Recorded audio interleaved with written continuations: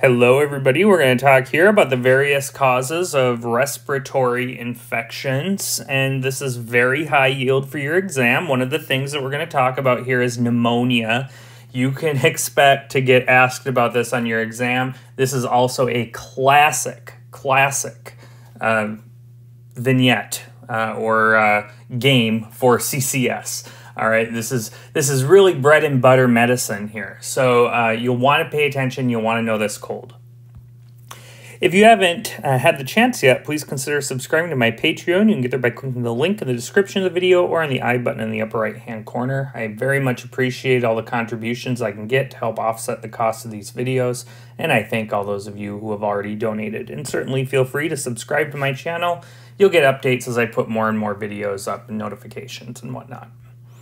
All right, so we're going to talk about pneumonia, we'll talk about acute bronchitis, and we'll talk about the pulmonary abscess. We're not going to talk about tuberculosis here. That is certainly an important pulmonary infection, um, but it deserves its own talk, and I certainly give it one. Pneumonia is a respiratory infection that is basically just characterized by infection and inflammation of the parenchyma of the lung. It is the leading cause of infectious death in industrialized nations, and that is because there are certain populations that are very susceptible to pneumonia, particularly smokers and COPDers. It is classically classified as typical and atypical. That might not be very useful for you, uh, but it will be useful for you on the exam. So, typical pneumonia presents with the classic symptoms, is a triad of fever, cough, and sputum, increased sputum, I should say and it commonly shows a lobar consolidation, which is why it's important to get your chest x ray.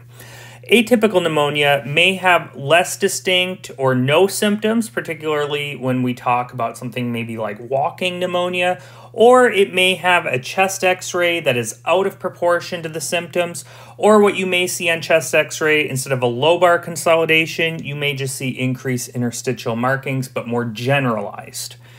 Um, pneumonia can also be classified as community acquired pneumonia, which you'll often see abbreviated as CAP, or hospital acquired pneumonia, or even ventilator associated pneumonia. So, fever, cough, and sputum are the classic triad of symptoms found in pulmonary infections, usually pneumonia. And the best initial step in management is going to depend on their presentation. So, if they're short of breath, along with this fever, cough, and sputum, then you're going to give them oxygen, put them on oximetry, and then get the chest x ray. Remember, we're always tending to the ABCs first. Okay, so if they're short of breath, if they're hypoxic, we have to deal with that first. Then we can deal with the pneumonia.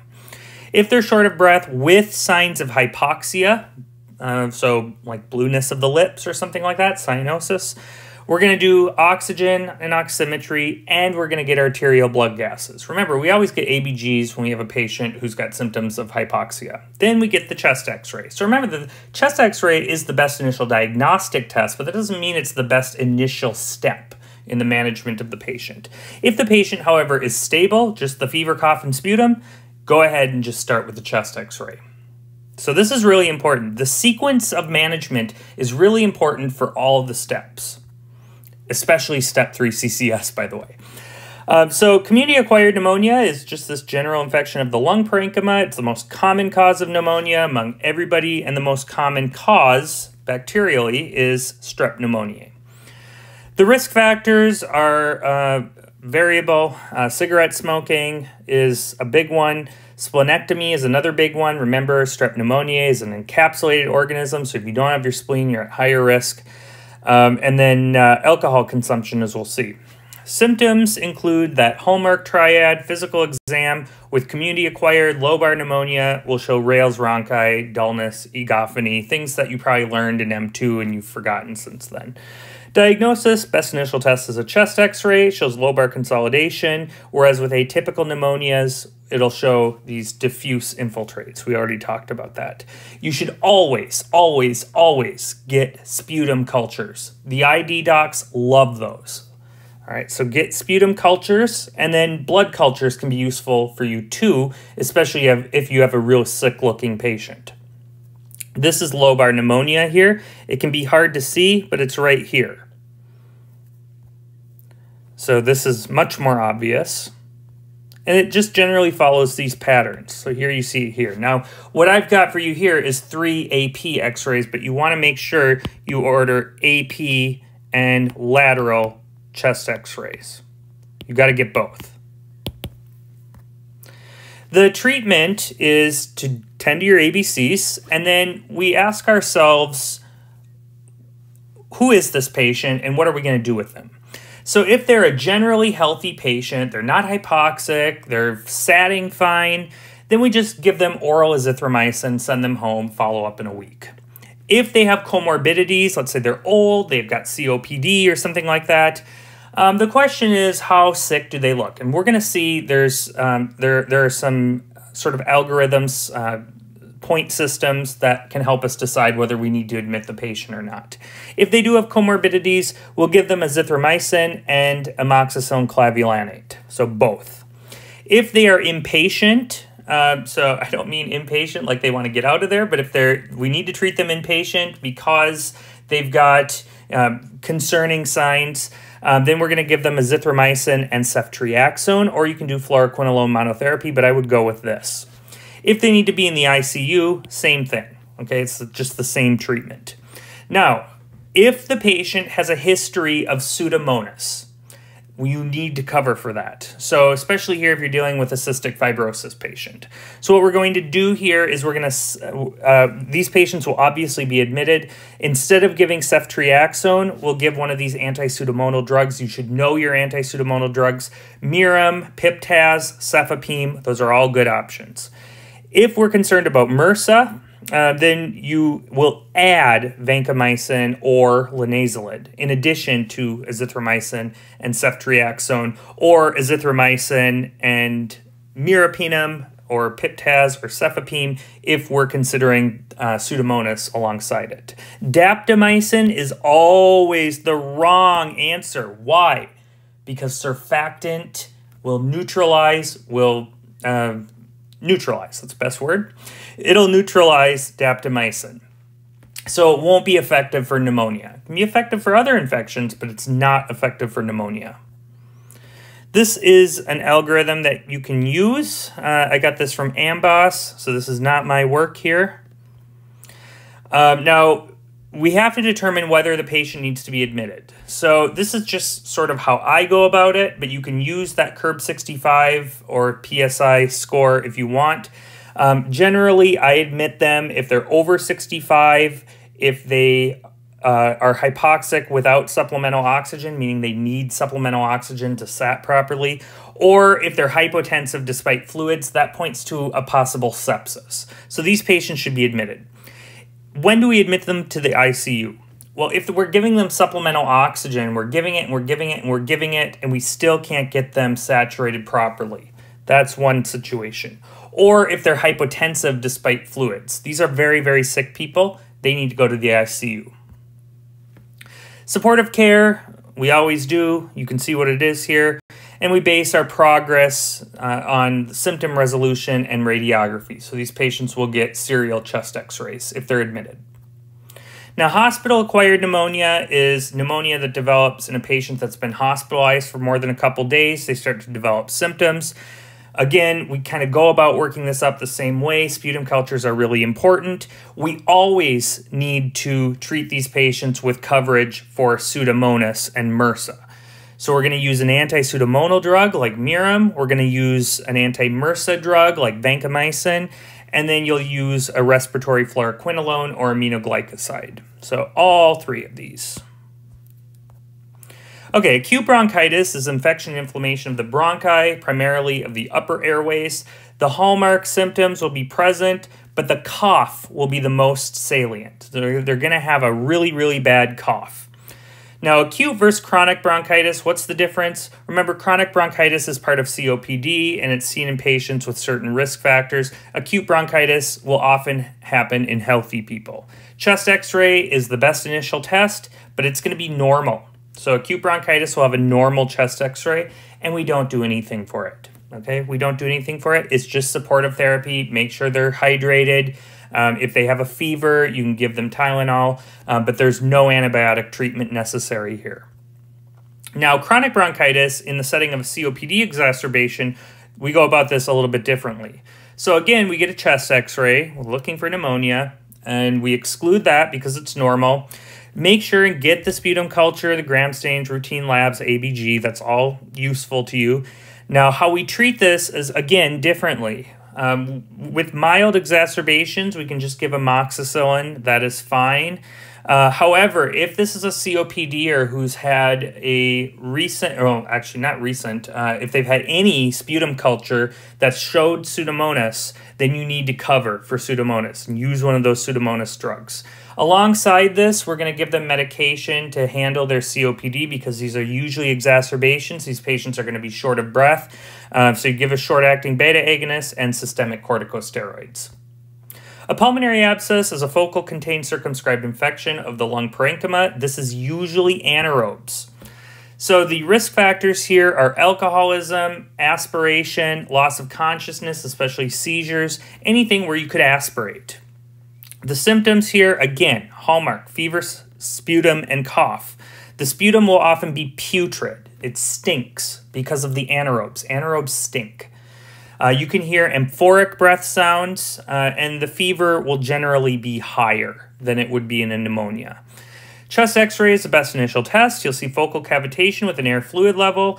Make sure and get the sputum and blood cultures before starting antibiotics. The treatment here, the best uh, the, the best treatment is ampicillin sulbactam. Uh, there are other drugs, and you know that goes with any of these infections. There's always alternatives. I'm just giving you the most common drugs that are used at least in my experience.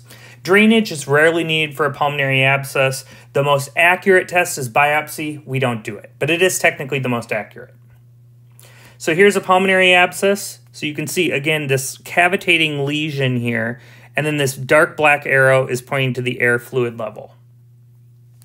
So again, you see the cavitating lesion here, kind of hard to discern an air fluid level, maybe here, it's kind of hard to tell.